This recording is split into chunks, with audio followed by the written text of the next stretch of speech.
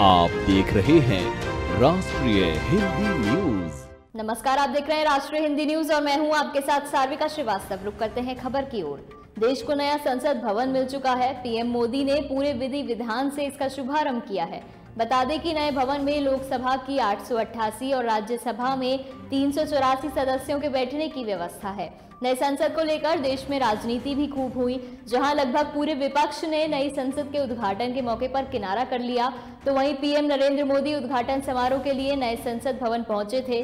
समारोह की शुरुआत पूजा से की, जो करीब एक घंटे तक चली। पूजा वन के बाद सेंगोल के सामने पीएम मोदी दंडवत हुए। साथ ही संसद भवन में सेंगोल की स्थापना के बाद पीएम मोदी ने तमिलनाडु के विभिन्न अधिनम संतों का आशीर्वाद प्राप्त किया।